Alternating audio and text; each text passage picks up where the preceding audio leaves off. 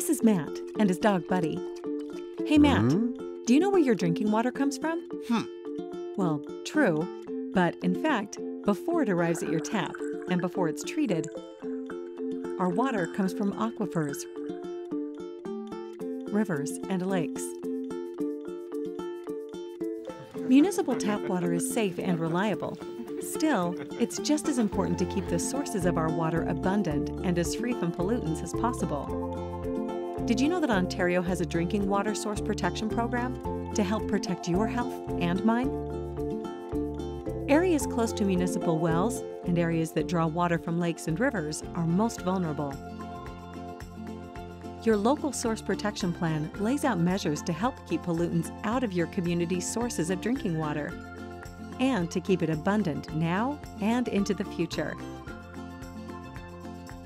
Everyone plays a role in helping to protect our drinking water. Discover what you can do at protectingwatermatters.ca. Our actions matter.